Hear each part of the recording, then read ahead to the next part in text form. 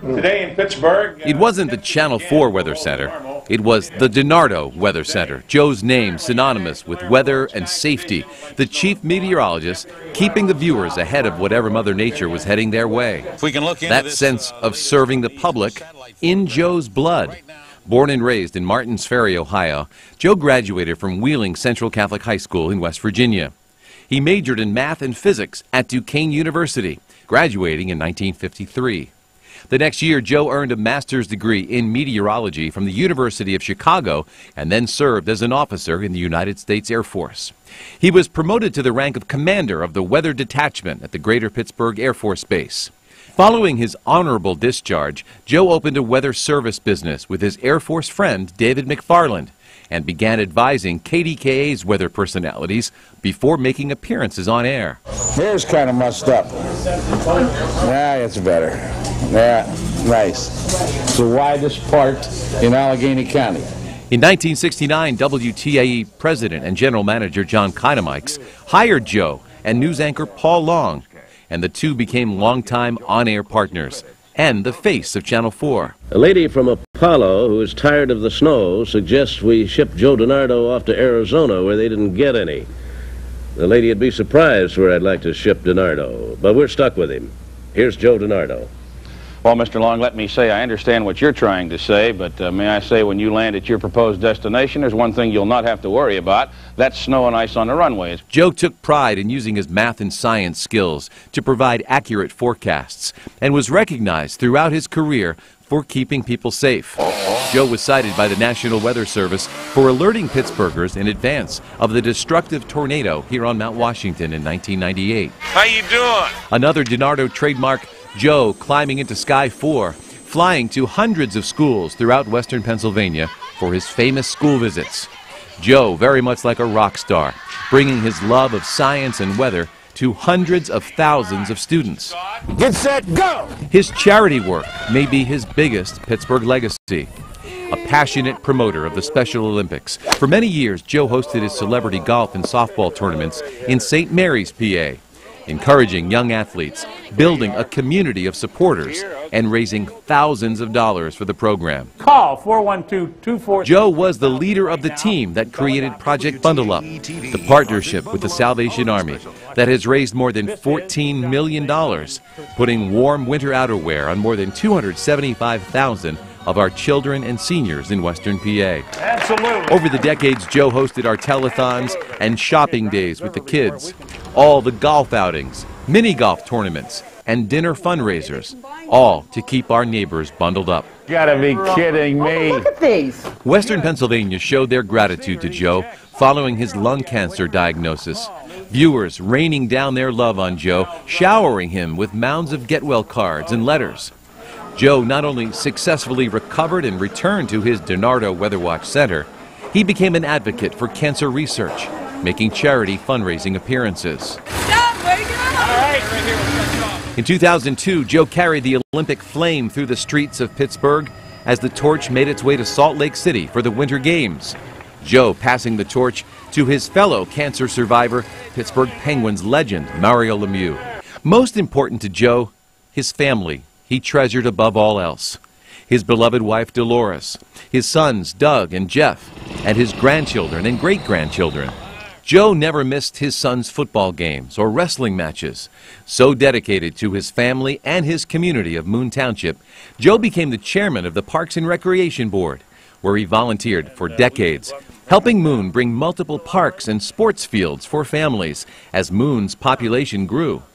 In 2012, township supervisors showed their gratitude by renaming the road that runs through Moon Park Joe DeNardo Way. How you doing? All right. Even though he officially retired from WTAE in 2005, he continued to be a part of the Channel 4 family, often lending his voice to help the less fortunate and continuing to mentor meteorologists, sharing his experience throughout his 45-year career on air in Pittsburgh.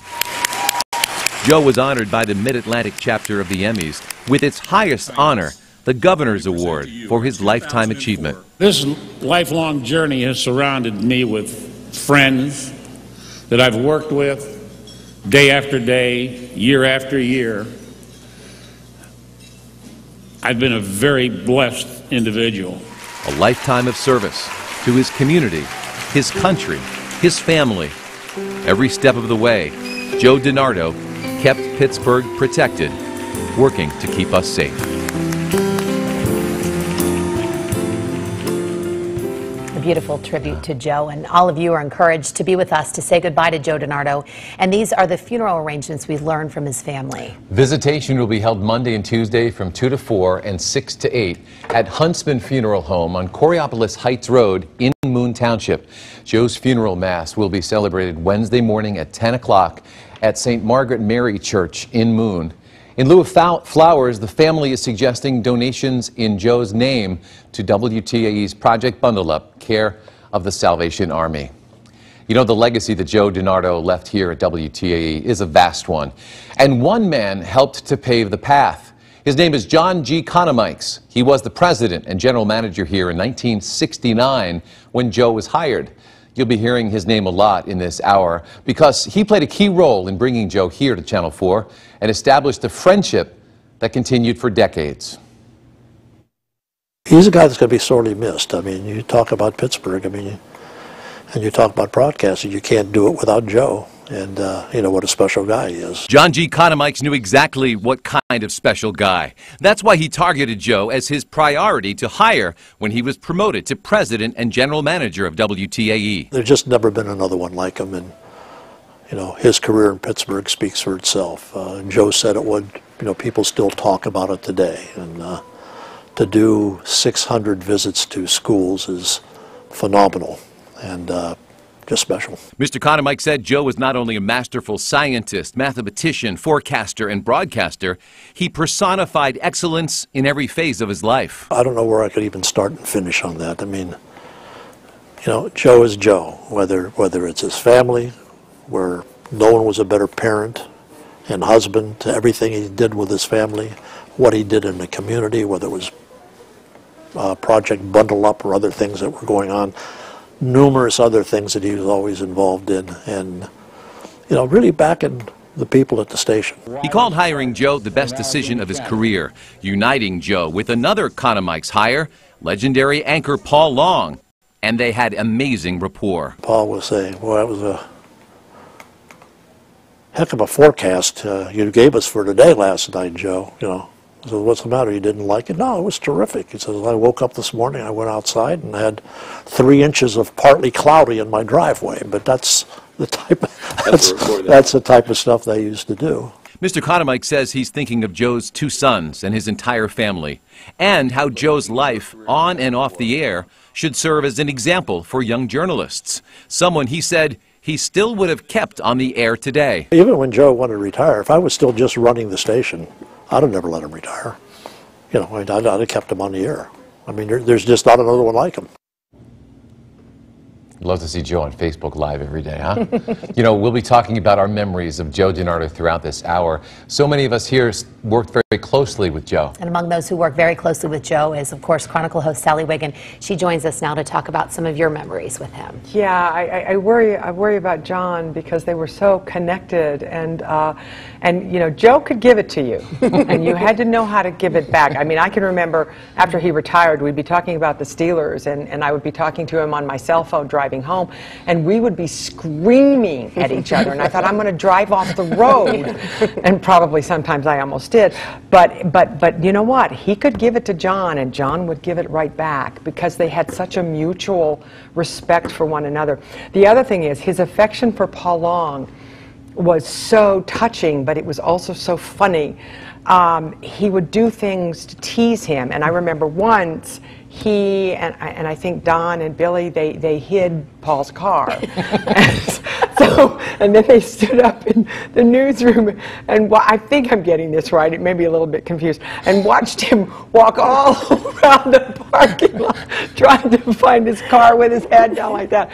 It, it was the kind of thing they did. There's so many stories they tell. Another time, I think Joe wore a wig during his weather forecasts. Is am I right? Yeah. And he got in trouble for it. Well, I- Joe I- was doing the weather, and Paul Long suddenly appeared right in front of it, Joe. Paul. The viewers couldn't see it. That's it. But Paul With a- Long was wearing a thank you. blonde wig. with a blonde wig. That's what it And was. And Joe lost it on And the he lost it on the air. That's what, and they did get in trouble. I, I, I don't know if it was Franklin Snyder or if it was John. It was Mr. Snyder, and It Joe was said they went to the Snyder. office the next day, and Franklin was going to give it to him. And Joe came up and put the wig on Paul. thank said, you. That's what I dealt, had to deal with. And he said, all right, Ex- yeah, you're good." exactly. Excellent, excellent. But uh, um, I, I remember it was so funny the um, when when we had a, a reunion. Uh, in September, 140 people came from all over the country, and Joe was there.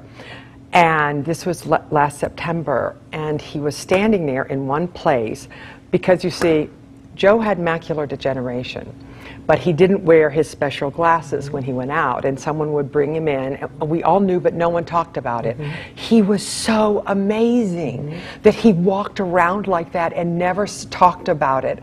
And, and I just call it stoic.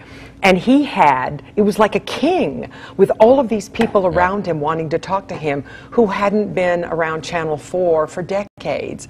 And he was so happy. So it made him so pleased that everyone wanted to talk to him because I think he felt that people had forgotten him. And one last thing uh, 2020 did a special about local weather and how local weather was the most important thing in, in uh, a newsroom. And they they had Joe as one of the people, and they had him saying showers and you know with that Pittsburgh accent that's that's that's so wonderful. And I remember being here. The studio didn't look like this, but being standing in the studio, and I was he was in his weather center, and I was watching. I was like, "Oh my, Joe's on 2020. Joe's on 2020," and he really just took it in stride. But you knew he was just busting with Yeah. pride. He was just he was just a remarkable man, and sometimes you'd like to whack him over the head, uh, and sometimes you just want to hug him. And uh, like when I, I mean, he wanted to whack me when I spilled Coke all over him at Kennywood at the picnic, and he's screaming at me, "Why you always do things like this?" But anyway, that was that was his relationship with everybody. You know, you knew what you got. John is right. He was the same off the air as he was on the air. You knew where you stood with Joe DeNardo. And he continued to care about so many people, calling, you know, various people throughout the newsroom, introducing himself as if we didn't recognize his voice. Oh, yeah. But, Oh, yeah. Oh, yeah. it's- We, we certainly think of his family. And Sally, we thank you for your tributes. as we I'm- know, I'm your memories stretch, stretch uh, and his, over the years. His sons have been such a joy to him, Yeah. and I just, uh, his sons and grandchildren, his whole family, I, I, I feel for them, and uh, because when a presence like that is gone, it leaves such a hole. Yeah. Sally, thank you so much. The entire Pittsburgh region, as Sally was saying, is remembering Joe DeNardo. Allegheny County Chief Executive Rich Fitzgerald released a statement saying, in part, every Pittsburgher checked with Joe to decide how to dress, whether to carry an umbrella or to find out if a snow day was in store. And later he wrote, the phrase Joe said it would still carries the same weight for Pittsburghers today as it did in the 90s when it was first coined. Also, this from Pittsburgh Mayor Bill Peduto. The sun may be shining today, but in the hearts of Pittsburghers, it is partly cloudy and mild. Joe knows. Congressman Keith Rothfus tweeting, saying that he's immensely saddened by the news that WTAE meteorologist Joe DeNardo, a Pittsburgh legend, passed away. He says, My thoughts and prayers are with his family. And as so many of you know, Joe just wasn't a great meteorologist and a man who gave so much to the community. He was also an incredible family man. We know this because we hear about his lifelong love with his late wife Dolores, and of course, Joe being a great father to his sons. You know, earlier I spoke to Doug DeNardo, one of Joe's two sons, about his dad. Listen. What, of all the love that's uh, being outpoured now uh, for your dad, what do you want our viewers to know about your dad's life that's, that's, that's most important for you? Um, he was a role model that um, that was sent to me by God for sure. Um, how to work with family. Um, he was always there for us. Um, how to raise children. Um, he was a he didn't have a father. He was raised by his mother, so he winged it. Um, it, it being a father, and um, you take a look at my brother Jeff and, and I, and and uh, you know all four of the grandkids. Um, he left that legacy, but more than anything, he taught me that um, it, it was just something his grandmother told him: "To whom much is given, much is expected." He really was Pittsburgh dad to so many of us here at Channel 4 and beyond. Joe really took those words to heart, finding a, a, number of ways to help the Pittsburgh area community, treating them as family. The two he'll perhaps be known best for those school visits, inspiring students to take an interest in science and math, making 660 school visits in his career. And of course, Project Bundled Up, a drive that we continue here today at WTAE, working with the Salvation Army to provide warm clothing, especially coats, to those in our community who may not otherwise have a way to stay warm during our cold winters. He did it his way, um, and he did it with um, the the love and coaching of his mother and his grandmother and his wife Dolores, and uh, just always give back um, and and take care of the people that take care of you. Yeah. As we've been mentioning all day long, in addition to his own family, Joe took care of so many other children, 275,000 children throughout Project Bundle Up throughout the past 32 years. WTAE's Project Bundle Up was a concept that Joe helped develop, keeping children and seniors warm during those cold winter months, as Mike mentioned. Pittsburgh's Action News full reporter Sheldon Ingram is bringing us more about that and one of Joe's other big accomplishments in the town he called home. Moon Park is one of Joe DeNardo's most proud accomplishments. They even named the main road after him, Joe DeNardo Way. But his other proud accomplishment is Project Bundle Up. Joe DeNardo was the face of Project Bundle Up. He started out by lending a helping hand to Pat Rooney, the widow of the late Pittsburgh Steelers owner Dan Rooney. She approached WTAE about a charitable coat drive for children in the 1980s. When DeNardo heard about it, he jumped in. The signature events for Project Bundle Up were the telethons and the shopping outing for children to get new coats. I think it was meaningful to Joe because he would come shopping at, at the beginning and he would get to meet these children. He would interview them. You know, they were all thrilled. Mrs. Rooney says DeNardo gave Project Bundle Up a face and widespread popularity. I don't think there was anything phony about Joe. I think this is very meaningful to him. I really did get that impression. DeNardo was also the founder of the Parks and Recreation Board for Moon Township during the 1960s. He also spearheaded the creation of Moon Park. Mrs. Rooney says he appeared just as genuine off camera as he did on television. He was just a very humane person, and I'm going to miss him. And I give condolences to his family. DeNardo's family says in lieu of flowers, they asked the public to make donations to Project Bundle Up through the Salvation Army. In Moon Township, Sheldon Ingram, Pittsburgh's Action News 4. And as Sheldon mentioned, Moon Township was home for Joe and his late wife Dolores for so many years. Yeah, and as Sheldon touched upon, we're going to talk a little more about his chairing of the Township's Parks and Recreation Board for 24 years. In 2012, Township supervisors gave Joe the honor, Sheldon pointed out, the road that was renamed for Joe. And it's true, Joe DeNardo Way leads right into Moon Park. And after the dedication ceremony six years ago, our Sally Wiggin decided to have a little fun with Joe about that big honor. You have to plow this and keep it clean when it snows. That's not a problem. You really would do it? Absolutely, because I know what the weather's going to be. I'll know when to get here and when not to. It's all about families. Joe planned many of the parks in Moon. By the way, the Moon Park office is located along Joe DeNardo Way. We definitely have to keep talking about this, Joe's school visits. Joe did more than 600 in all. And that's what so many of you at home are talking about throughout the day. We've been hearing so many of your stories about Joe's school visits, those helicopter landings right outside the buildings. Pittsburgh's Action News full reporter Jackie Kane takes a look. It was that feeling of excitement for so many kids who grew up in and around the Pittsburgh area watching Joe DeNardo land that helicopter at your school. I was six years old when he landed here at Central Elementary School, and so many people have been sharing their memories with us today. They all wore hats. One had a cloud or a sun, a rainbow, things like that. But they were very excited, and I do recall them asking some really good questions. Teresa Gephardt's children were at Elizabeth Forward's Green Oak Elementary School back in the early 90s when Joe DeNardo flew in for a stop.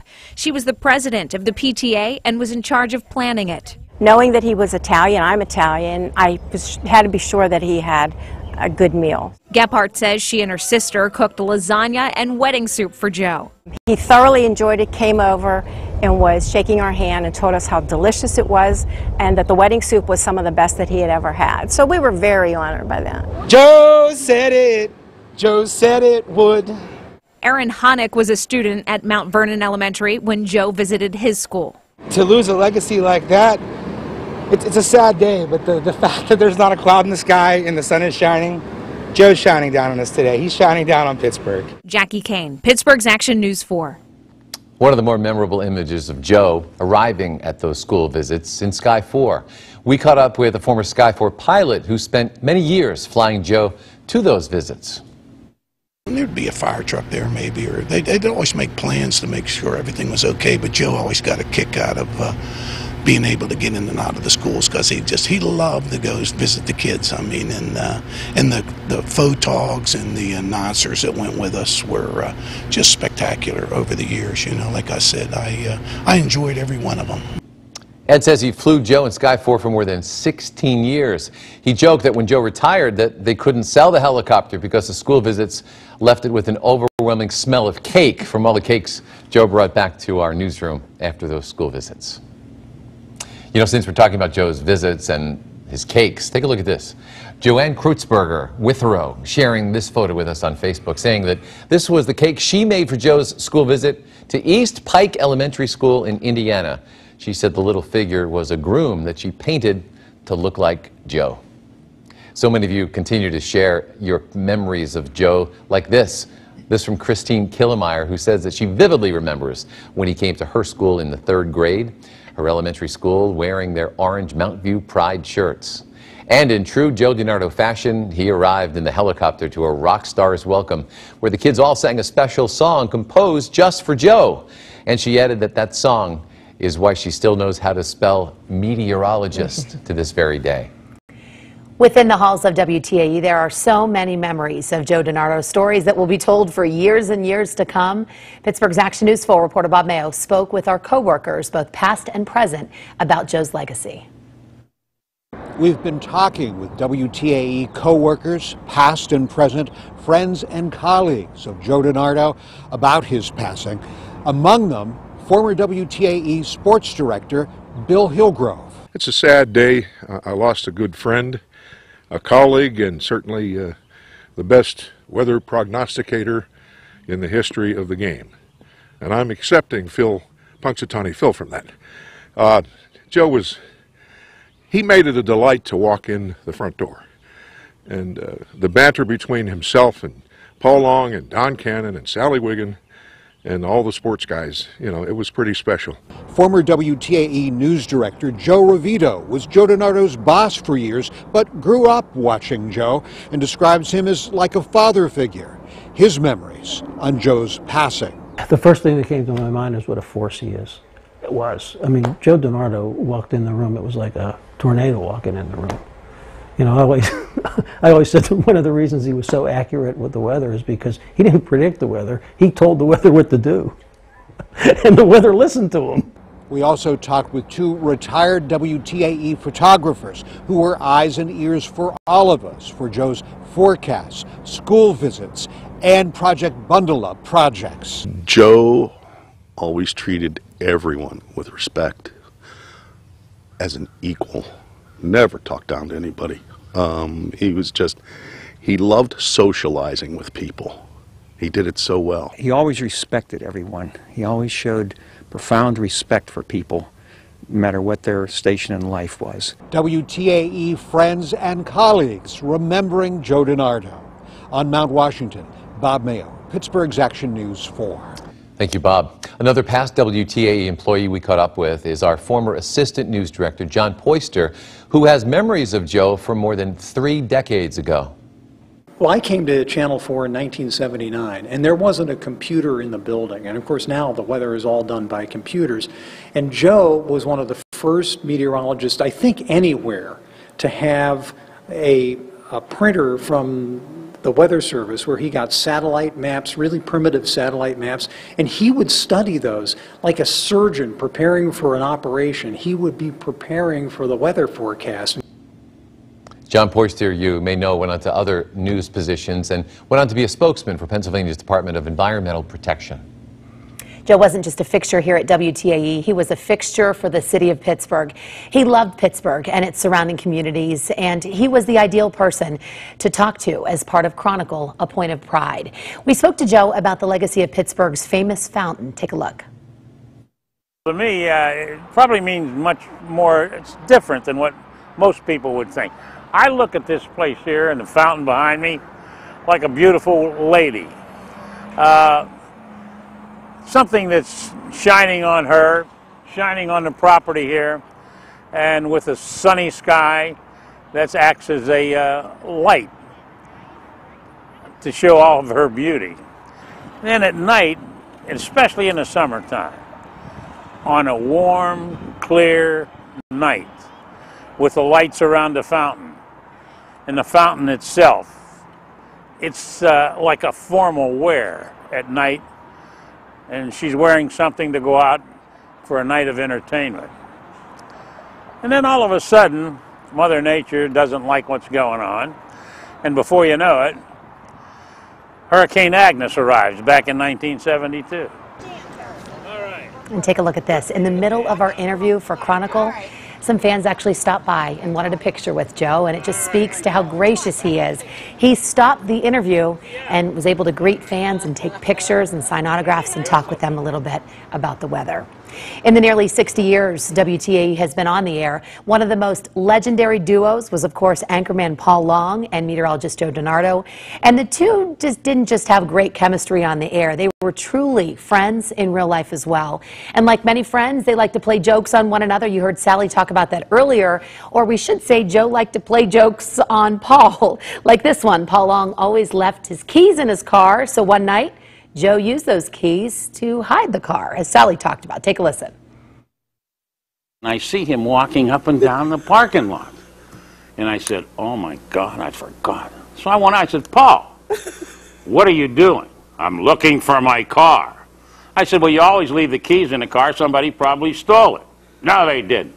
He goes back down in, I said, probably in the lower lot. Well, he goes down to the lower lot, and I immediately run up to the back here, start his car, bring it down, put it right in front of the building, and come back. I said, Paul, what's this? He looks and he says, I must have missed it. he got in the car, started it, and took off. Paul Long retired from WTAE in December 1994. He passed away in 2002. There is one thing that you and I both know, Joe. You'll have a lot of time to play, a lot of golf, and, you know, you may end up giving me strokes. The late golfing legend from Latrobe, Westmoreland County, Arnold Palmer, sending his well wishes to Joe upon his retirement. The pair of icons shared a passion for both golf and giving back to their communities during their lifetimes. As you may remember, Joe beat lung cancer. He had been a smoker, and the tumor they found was not the average tumor. It was a very tough cancer fight, and it would not be a simple surgery. Well, we caught up with the man who treated Joe. Dr. Jim Luketich was not a native Pittsburgher, but as he tells us, he quickly learned the enormity of the situation. I was relatively new to Pittsburgh, just gotten here from, Memorial Sloan Kettering and new kid on the block, and I said, well, okay, I'd be happy to see whoever it is. Uh, and then they said, well, this is Joe DeNardo. I said, oh. I said, uh, okay, I knew that name, and it, it, it rang a bell with my wife, who's a Pittsburgher, and she said, wow, you better take good care of this guy. Joe would go on to battle cancer two more times and undergo more operations. By the end of it all, he became an advocate not just for cancer patients, but really for all patients. Earlier in this hour, we introduced you to John G. Conomikes, the former WTAE president and general manager, who hired Joe DeNardo. And how Joe joined WTAE is a story that will continue to be told for years to come. Take a look. And for all the news, sports, and weather. In the 1970s, the name Paul Long, Don Cannon, and Joe DeNardo came to personify Action News. But there was a fourth man whose name you shouldn't forget John G. Conomikes, the man who assembled that legendary news team. And it all started with a conversation with Paul Long. He asked me what uh, what ideas I had. Well, I said uh, I'd like to see your weatherman be uh, Joe DeNardo. I think he could be had now. or words to that effect. But uh, he says, we've been talking to him. He's playing hard to get. And I gave him some more tips on how to tie the rope around Donardo and drag him in here feet first. Joe worked for another television station at the time, but that didn't stop the two from arranging a meeting in 1969. John G. Conomikes. And he said, I want to talk to you. I said, fine. He said, um, let's meet out near the airport. He said, you know any place? I said, yeah, we'll meet at Howard Johnson. So we met at Howard Johnson's. And we're sitting there talking, having a nice conversation, and uh, pilots from the airport would be going by, coming in for lunch, breakfast, what have you. And they'd all stop. And they'd say, Donardo, says, great job, great job. He says, you're the only weather we watch. He says, you tell it like it is. He says, it's all about that. Winds aloft, the whole ball. And after a while, kind of makes, he looks at me and he said, I think I'm being set up. When we spoke to him several years back, Mr. Conomikes said he remembers another pilot. A pilot came in and said to Joe, he says, My God, Joe, he says, weather. He says, What kind of weather do you need to fly in? It was absolutely awful out there. And Joe said, Well, for me to fly, he says, I'll tell you what I do. I said, I've got a powder blue piece of paper with a hole in the middle. And he says, and I go outside and I hold it against the sky. If it matches, I fly. If it doesn't, I don't go in the air. And I said, and you're a guy that I want to give a lot of money to come and work at Channel 4. That's the kind of answers we get. But, uh, you know, that was the start of it. And later, the phone call that led to an unconventional contract. I called John. I said, uh, John?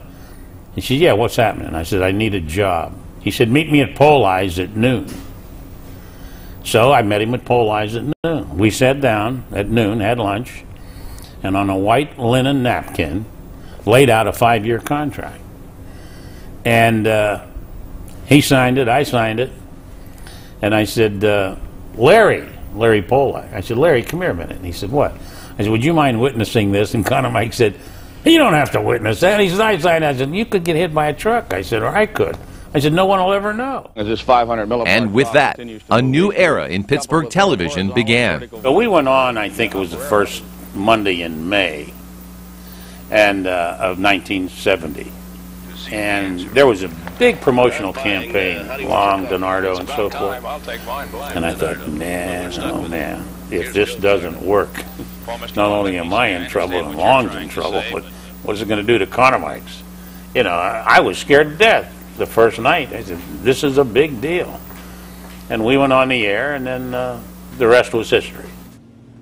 Two broadcasting icons right there. You know, we have to talk about this, Janelle. One of the more memorable weather events for Joe DeNardo was definitely the most memorable for all of us here in Pittsburgh, the blizzard of 93. Yeah, this past March actually marked 25 years since that monster storm and what would turn out to be one of his final interviews. Joe DeNardo spoke with Pittsburgh's Action News for Chief Meteorologist Mike Harvey about the memories of that storm and some other key weather events right here in Pittsburgh.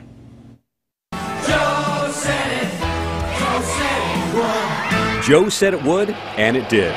March 13th, 1993. It was a pretty good storm. In fact, it's been the biggest one day total in the history of Pittsburgh. The blizzard of 1993. Nearly two feet of snow falling in a single day. Joe DeNardo was WTAE's chief meteorologist and the dean of weather forecasting for decades. He tells me that the blizzard was perhaps one of the most memorable weather events he covered. I was doing a pretty big hit every 30 minutes. And uh, telling people what the rate of accumulation per hour was, saying, you know, hey, don't bother going out there and shoveling. You're just going to go back out in another two hours, shovel another six inches. Joe was amazed by what he saw that day, including the decision to continue Pittsburgh's annual St. Patrick's Day parade. I know the Irish liked it. They had a very nice parade that day, and they were walking in the snow. Happy St. Patrick's Day! For hours he tracked the blizzard until the moment the snow finally came to an end. A moment he had forecast predicting 9:30 p.m. I'll never forget it, Mike. I'm looking at the sequences coming in. Special, Greater Pitt, 932. Snow ended.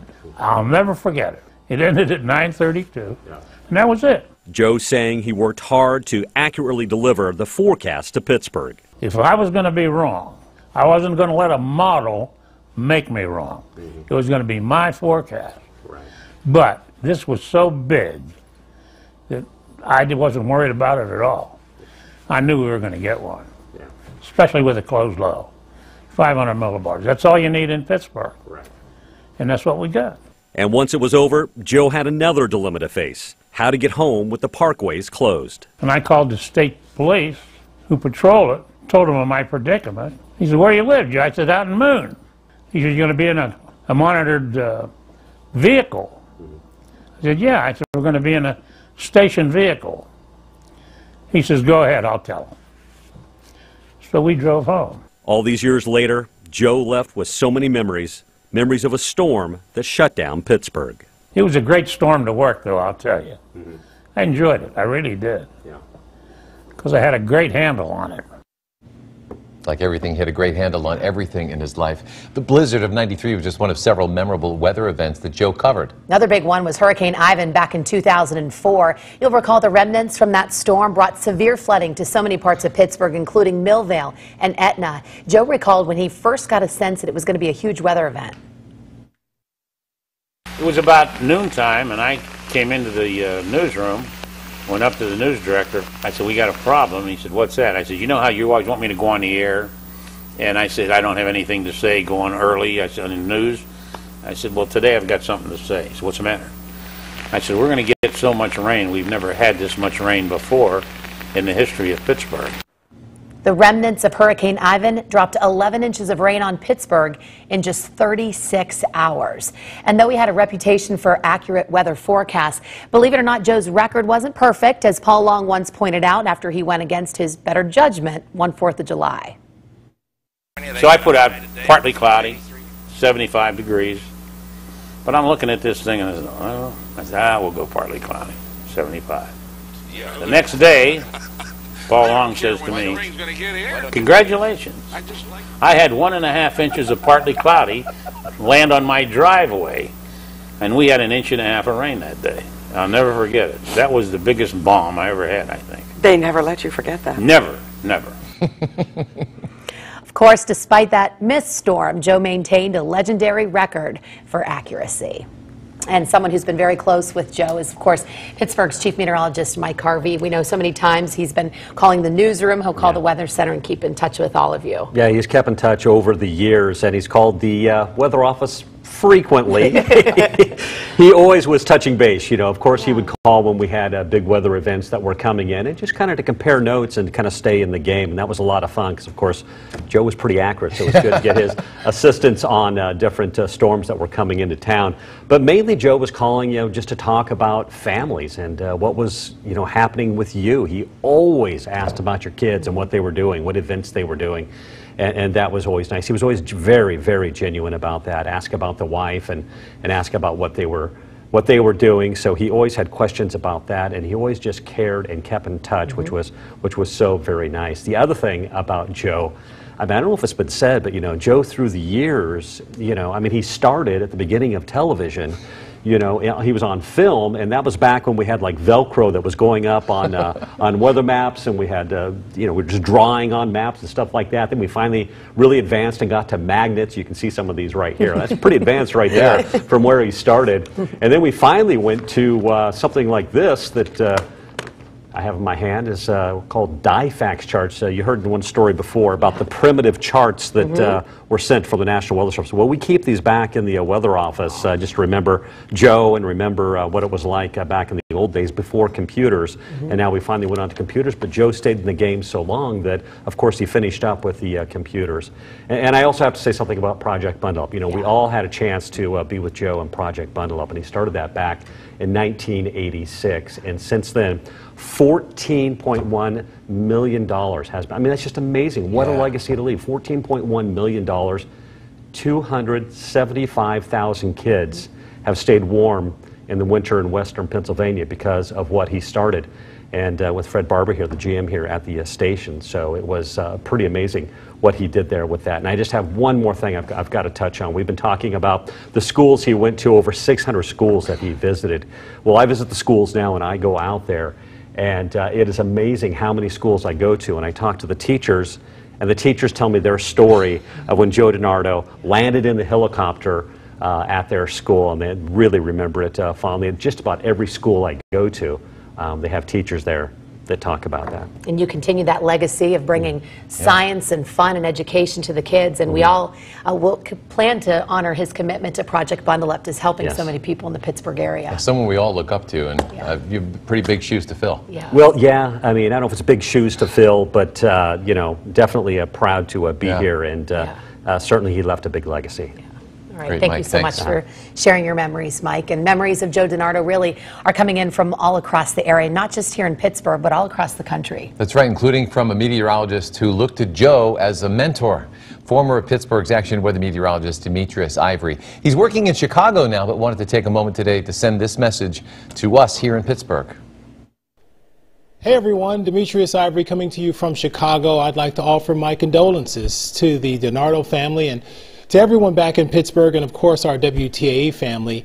Uh, uh, we suffered a great loss. Joe DeNardo was a legend. He was not just a mentor, he was also a friend to me and uh, we spent a lot of uh, great time throughout the years. My favorite memory of Joe actually doesn't have to do with forecasting.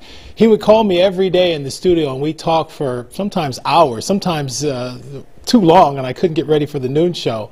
Uh, mostly about sports. So sometimes I would go down to his house and we watch college sports, and we would just be hemming and hawing and saying good and bad things about the Pittsburgh Panthers throughout the entire afternoon. You know, just he and I. So, um, you know, he was just a great man. He got his start here in Chicago. Of course, this is where he went to school. Always supportive, and uh, we are going to miss you so much, Joe. So, to my great friend and to everyone back in Pittsburgh, uh, just rest in peace, Joe, and I will never forget the things that you taught me. Talked to Demetrius on the way in, and he was making sure that he wanted to know about the funeral arrangements. And he is uh, a perfect example of the kind of person that Joe continued to mentor. Absolutely. Whether it was a, a student in grade school or high school, or someone who worked here and continued to go on, Joe shared his knowledge, and so many people were so grateful for that. Yeah, it's so beautiful to hear Demetrius's uh, memories of Joe and what the importance you know he played in his life. And you know, so many of you have been talking about this since we broke the news of Joe's passing earlier this morning here. Those promos that made Joe DeNardo so famous. They were much more than just the words Joe said it would. There were decades of creative spots pointing out Joe's accurate forecasts. Pittsburgh's Action News 4 anchor Michelle Wright takes a closer look.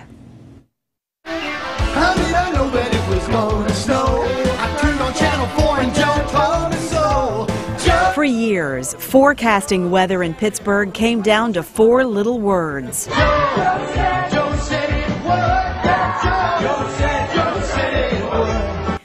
said it would. Was more than a catchphrase. It was the promise of accurate forecasts from a man who spent decades analyzing the weather in Pittsburgh. And while those spots are undeniably iconic, they're not the only promos that featured the legendary Joe DeNardo. There were so many more, including this spot that highlights the chemistry of the WTAE on air team in the 70s. The most continually asked question still is, what do Paul Long, Don Cannon, Joe DeNardo, and Ed Conway say to each other following the newscast? We once again join the closing credits in progress to seek the answer. Paul, did you get that call from your wife? No, what'd she say? Joe took the message. Uh, she wants you to pick up a can of hairspray for her. Spots that didn't just showcase great chemistry, but also great humor. The woolly caterpillar predicted the hard winter, the groundhog the early spring. Personally, I prefer groundhogs, but sometimes you have to take what you can get. Here's Joe DeNardo. Well, Mr. Long, you prefer groundhogs, I prefer caterpillars. Really, it all depends on how you cook them. Other spots demonstrated what to expect from the newscasts, while more showcased Joe's weather expertise in some creative ways, like this spot from the mid 70s. There's something almost frightening about the accuracy of Joe DeNardo's forecasts. It does make you wonder sometimes just how he does it. But for so many, it comes back to those four words that said so much about what to expect when you tuned in to a DeNardo weather forecast.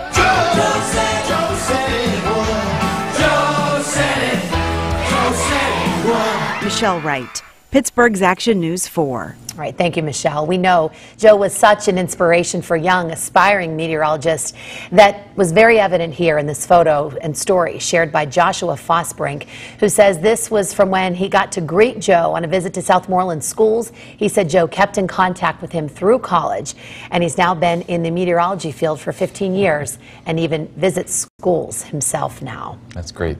And right now, we want to bring in Pittsburgh's Action News 4 anchor, Andrew Stockey. Andrew, you've been here 23, almost 24 years. Mhm. Uh, what, what are your memories of Joe when you first started here? Well, I have to tell you, when I first came here, I had not been to Pittsburgh. So I walked in and saw this DeNardo weather. I'm like, what is that? I had no idea. But Joe and I shared two things together over the years. First of all, our passion for golf. We both love golf. In fact, I remember one time he hosted that tournament up at St. Mary's, which was quite a drive. Asked me to play in it, and I told him, look, I couldn't make it because obviously I had to work that evening. He's like, don't worry, I'll sit in the helicopter. so Ed Kilkenny in the helicopter, I met them at the helipad with my golf clubs, hopped on, flew all the way up, landed off the green, off the putting green, and Joe was there to greet me. I have to tell you, I felt like a million dollars. Didn't play like a million dollars, but certainly felt like it. I mean, Joe, that's the kind of person he was. He would go that length to make sure you could take part in events like that.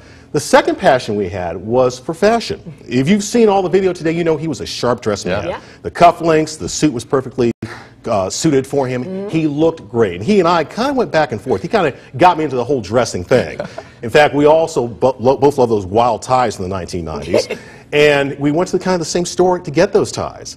And he always got first dibs because he was Joe DeNardo. But he taught me in that a couple of things. First of all, dress for not only the job you want, but the job you have. Always look presentable. That was him. Wherever he went, he looked the part. He looked good. He exuded professionalism. And that's something that I think really rubbed off on me. And the second thing I always remember is the fact that he gave back. I mean, he really made a difference. And inspired not just myself, but all of us here at WTAE to try to do our best to give something back to the community that has given us so much. So that's the legacy. I think we talked about a bit earlier today. You know, do something today or this weekend with Joy in mind. Volunteer and give back because it's the best tribute I think we can pay to a man who gave so much of himself to all of us. Very well said. And it wasn't just about how he looked and his Mm. work here, as we know, it was how he treated people. Yeah. And we heard so many of our coworkers talk about that. You know, he had that legendary status here at work. Mhm. But I remember when I started, it was right after the Ivan floods.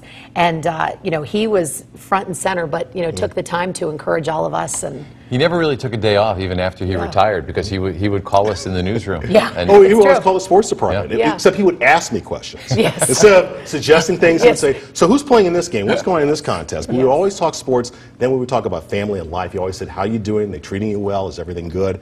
Uh, it was like having a father figure, Yeah. somebody you could really look up to and, and kind of bounce things off of. So uh, I'm going to miss his phone calls. I got the last one, I think, about a week and a half ago. Um, I'm sorry, a month and a half ago, excuse me. And uh, uh, it's, it's hard to believe I'm not going to get those phone calls anymore because they came out of the blue. And when they happened, you took that phone call and you dropped everything you were doing. That's true. Thank you so much, Andrew, for sharing your, your memories, as many of you are doing. And likely one of those highlights of Joe's career that we've, keep, we've, we've been talking about all night was the moment he received the Governor's Award from the Mid Atlantic Emmys. It was an emotional night for Joe. It was an award honoring his years of excellence on television and his service to our community. Take a look now at some of Joe's acceptance speech that night when he received that award. This lifelong journey has surrounded me with friends that I've worked with day after day, year after year. I've been a very blessed individual. And all I can say is that the WTAE family will help me in this award, and they'll help me celebrate this award when we get back because these are true friends. To the Board of Governors, I just have, I, I must thank you from the bottom of my heart. You've made an old man proud, happy, and humble. Thank you so very much for this award. Lots of precipitation in that room that evening. Some other past recipients of the Board of Directors Governor's Award include Fred Rogers, Myron Cope, and our own Sally Wiggin, who received the award just last year. And just a short time ago, the Mid Atlantic chapter of the National Academy of Television Arts and Sciences released a statement saying they're saddened by Joe's passing, describing him as a broadcast legend who will be missed by all. All day long, we've been hearing so many wonderful stories about Joe DeNardo from his service to the community to his reputation as a practical joker. He changed the way weather is forecasted here in Pittsburgh, and in one way you might not expect. So, you all probably know meteorologists stand right in front of that green screen for their forecasts. Well, at least at one point in time in his career here at WTAE, that screen was blue, something Joe didn't want. Take a listen. They started blue. And that just bugged me when I found out you could use green. I said, why don't you use green? They said, why? I said, because I don't wear green shirts or shirts. I don't wear them. So they started using green, mm-hmm. and that was a little easier. We told you he had a lot of pull. And one of the many ways Joe's planted a flag on what came to now be known as the Joe DeNardo Weather Center. Joe DeNardo was well known for his practical jokes. He was all much loved in the community. And when you put the two and two together, you get moments like this one. A 4th of July, when Joe and Bill Hillgrove had to work here at the 6 o'clock news, and then they decided to find a picnic to crash. One day I said, Billy, come on, we're going to do something. He said, what? We get in my car and we're cruising down Ardmore Boulevard in Forest Hills. Took a right and go up on the hill there, and there's all these homes up there. And put the window down. I said, now, Billy, if you smell something that smells really good, let me know. So we get in Joe's car. He drives down to Swissvale. We drive along. We see a tent in a yard and cars parked. We get out of the car. Hey, Joe DeNardo, Bill Hillgrove, come on! And we enjoyed a spectacular cookout. And guess what? It didn't cost us a dime. I bet it didn't. The very first time I met Joe DeNardo, he said, where, do you, where are you going to live? I said, uh, Forest Hills. He said, best barbecues in Pittsburgh. And he, he told me that story. you know, as you remember our friend Joe DeNardo tonight, we're also thinking about the impact he left on our community. And sometimes that impact came with a little bit of humor, as we've been talking about, such as in this famous clip from Pittsburgh Dad. It's over. Sometimes as late as June. Remember, Joe said it would, before Joe DeNardo did a cannonball in it. Joe DeNardo found multiple snowflakes exactly the same. Joe DeNardo named his fists Arctic Blast. Got birth certificates. Blowing snow. And the folks over at Pittsburgh Dad did send us a message offering their condolences on the loss of Joe DeNardo. And this is something we're really going to miss when WTAE Summerfest returns next month. You know, Joe loved the people of Pittsburgh, and every year he had the chance to meet with them one on one at WTAE's Kennywood Day. Hey, come on out. It's going to be a great day.